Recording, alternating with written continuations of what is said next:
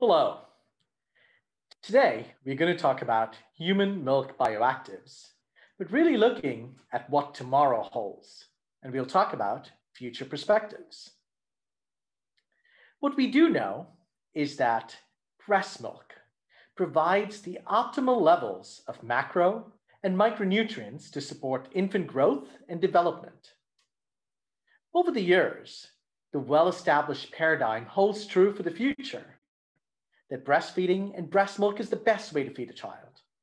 What we've learned from the research over the many decades is that the components that are present in breast milk have a variety of biological functions, which really contribute to immune development, protection against infections, gastrointestinal development, the gut microbiome, neurodevelopment, and metabolic health. What we've learned over the recent decades is that it also contains non-nutritive components.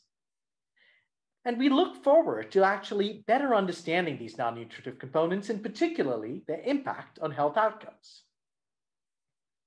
A lot of people refer to these non-nutritive components as bioactives. So over here, I've put a summary of the literature published definitions of bioactive.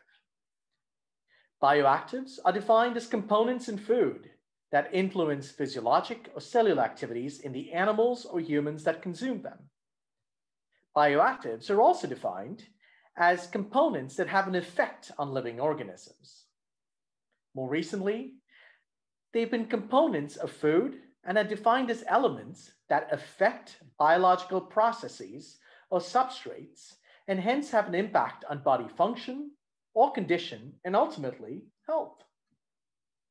Another way to look at it, specifically for human milk, is that human milk has distinct bioactive components that are thought to protect against infection and inflammation and contribute to immune maturation, organ development, and healthy microbial colonization. So let's start by looking at the nutritive or the macronutrient contributing components of human milk. As we'll see from the data on the coming slides, is that the concentration of lactose, which is essentially the only sugar in human milk, is the least variable of the macronutrient components. And higher concentrations of lactose are found in milk of mothers producing higher quantities of milk. Human milk fat is unique and characterized by high contents of palmitic and oleic acids. Palmitic acid is really heavily concentrated in the two position, and the oleic acids in the one, three positions of triglycerides. Specifically, the fatty acid profile of human milk varies in relation to maternal diet, as we've seen from the plethora of data on the component influence of maternal diets and long-chain polyunsaturated fatty acids. When we talk about proteins, the most abundant proteins are the whey component, and within the whey component, there is alpha-lactalbumin, lactoferrin, secretory IgA, lysozyme, serum albumin. And of course, outside of whey, there is the casein component of human milk. And when we talk about micronutrients in human milk, they vary depending on the maternal diet and the body, body stores, even preconception. And these are nutrients like vitamin A, the B vitamins, D, and iodine. What we do know, and that's why the recommendations are for vitamin K at birth and vitamin D supplementation, including in breastfed children, is because the breast milk tends to have low levels of vitamin K and vitamin D. Let's look at the data. Historically, data from the 1990s and early 2000s really has quantified the various macronutrient compositions of human milk. In this composition of the data, which is really coming from the US, Danish cohorts, and Australian cohorts, what we see is that there is a variability in the human milk macronutrient profile in different countries. However, when you look at these studies in greater detail, you realize that the way human milk is collected, the way it is stored, and the way it is analyzed is really also a significant contributing factor to some of the levels that we see.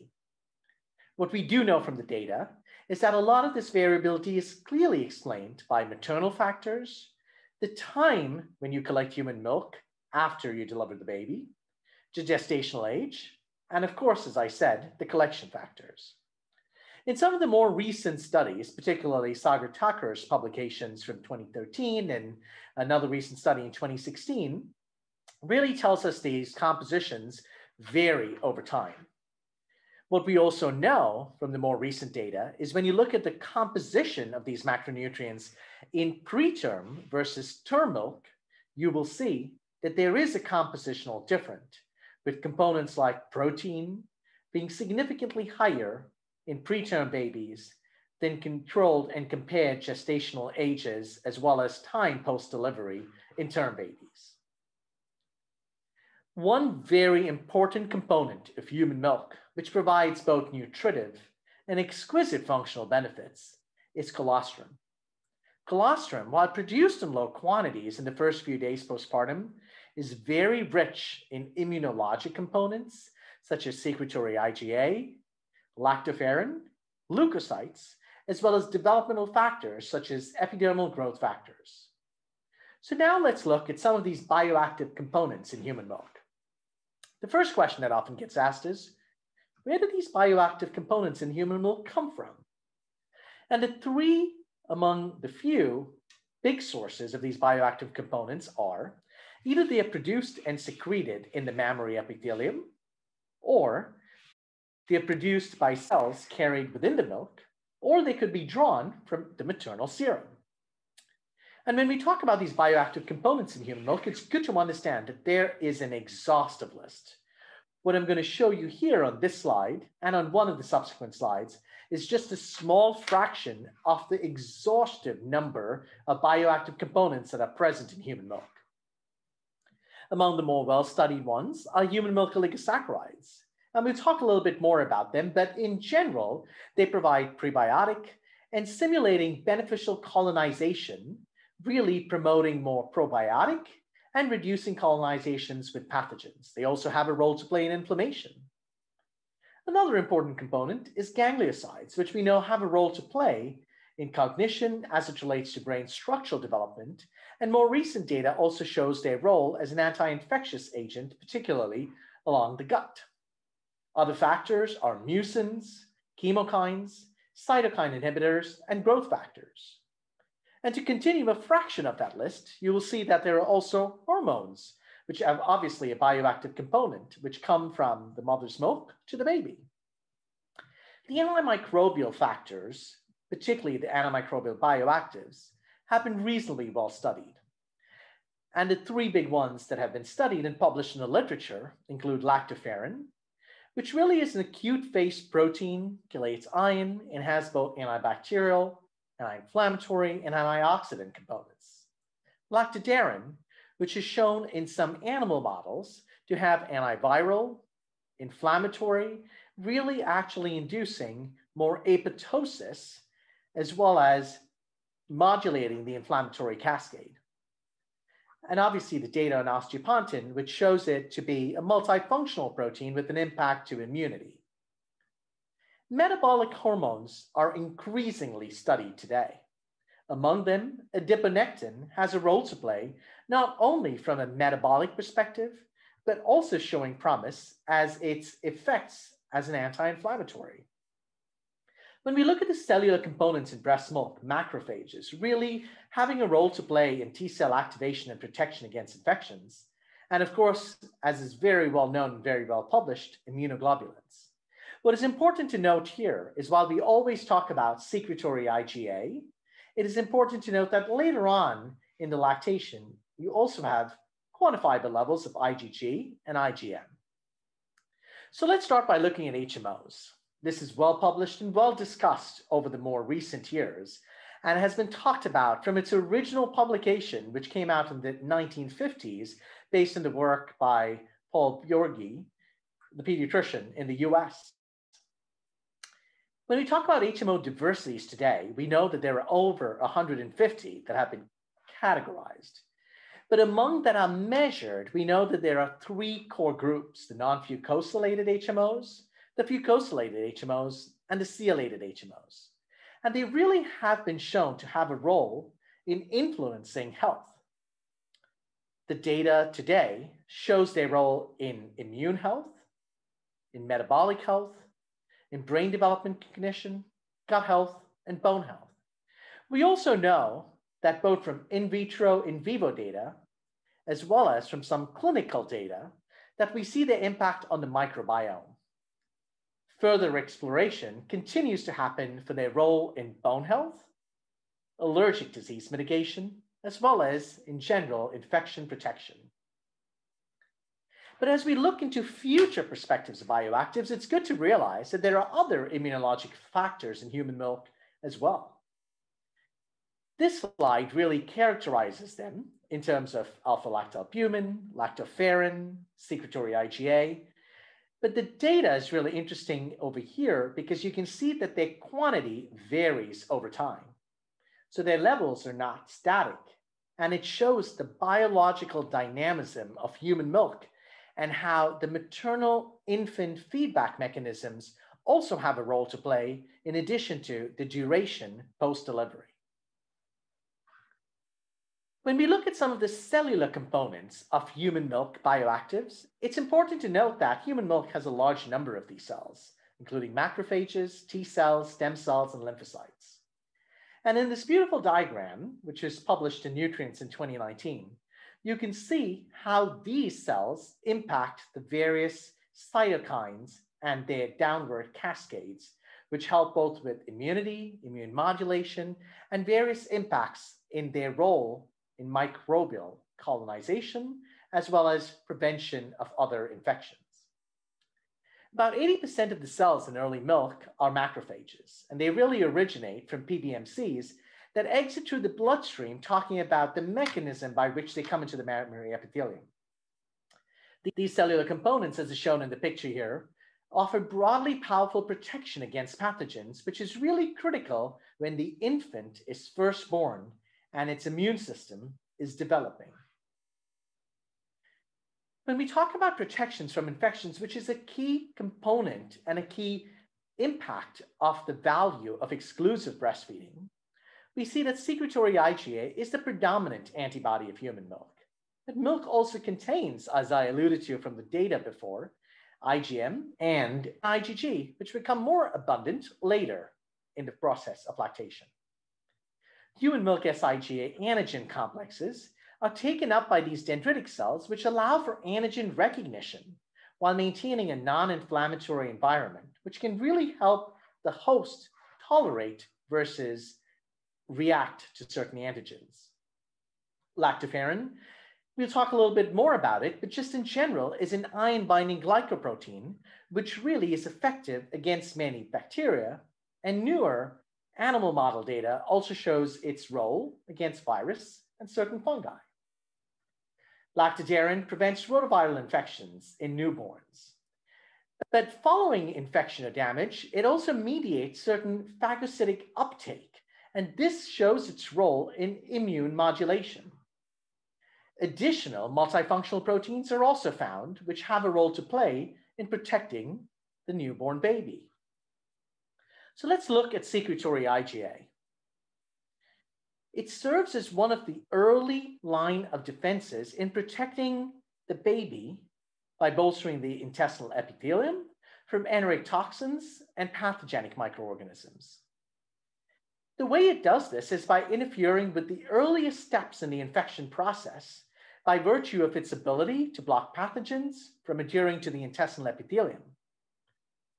It's the ability of secretory IgA to promote the clearance of these antigens and the pathogenic microorganisms from the intestinal lumen, which really has a role to play in facilitating their removal and hence protecting the baby against infection.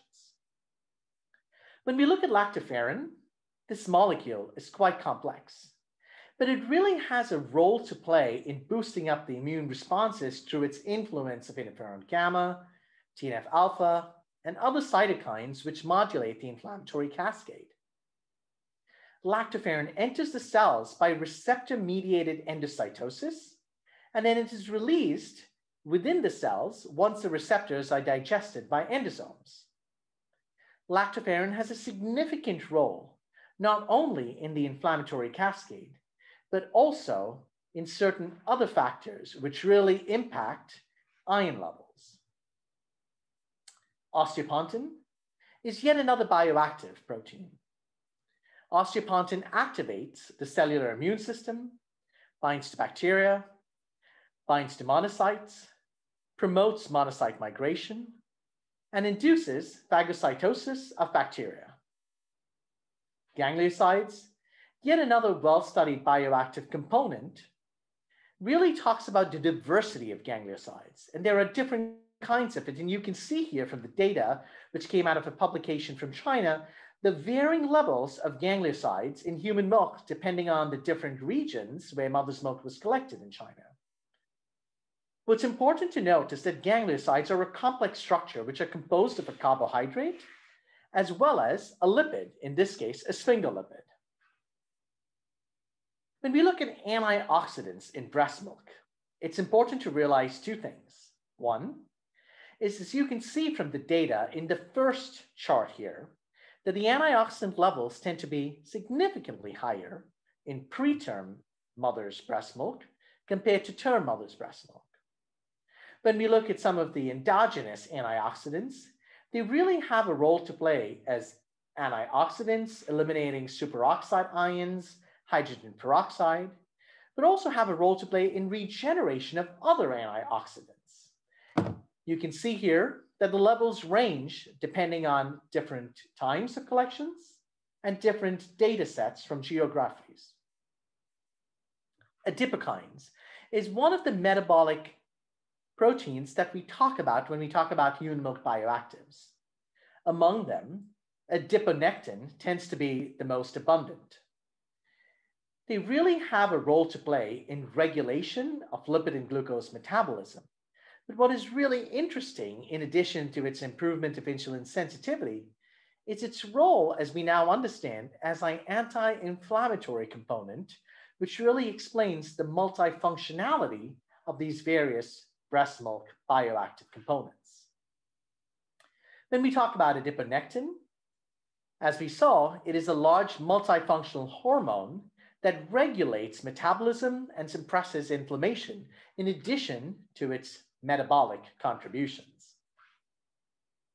So when we start to look at all these things together, what we can see is breast milk is a complex, uniquely designed nutrition, which is uniquely designed for each mother-infant dyad. It is a complex of microbiologic, immunologic, and metabolic factors in breast milk and has a large role to play in delivering some of those immune benefits, gut benefits, protection benefits, atopic benefits, neurocognitive benefits that we see comes from exclusively breastfeeding a baby. This chart here summarizes some of the microbial factors, immunologic factors, and the metabolic factors, and their complex interactions with each other that enables every child achieve their growth potential. But when it comes to the question of, as clinicians, what can we do to really influence some of these bioactive components in mother's breast milk? Well, we know that there are various factors that can impact the quality, the composition, the characterization, and the quantity of these human milk bioactives in mother's breast milk. These range from certain non-modifiable factors, like mother's genotype, to modifiable factors like mother's diet, physiologic state, the mode of delivery, to gestational age, the lactation stage, the underlying medical conditions, medication use, and then maternal BMI. Because we know by proactively educating and creating awareness on the importance of the modifiable risk factors, we can really influence infant clinical outcomes, ranging from infectious disease, allergies, the growth and body composition, cognitive development, immune system development, and metabolism. So finally, what we've learned today is that human milk contains a plethora of varying quantities of bioactive components. And what we learned is that they continue to offer much promise as we further our understanding of the health benefits of breast milk. As we look towards the next generation of research, the opportunity is to focus on the complex interactions and the interrelationships between these various bioactive components in human milk. We should continue to forge ahead in better understanding of the maternal factors that may influence the expression of these bioactive components, and this is critical information to improve maternal health solutions that enable continued and exclusive breastfeeding. And finally, understanding the bioactivity not only of term mother's breast milk, but also of breast milk of preterm babies and babies with special medical needs will better allow us to understand the therapeutic potential of these individual bioactive components, either individually or combined for the future. Thank you for your time today, and thank you for being the best advocates, along with parents, for children everywhere. Thank you.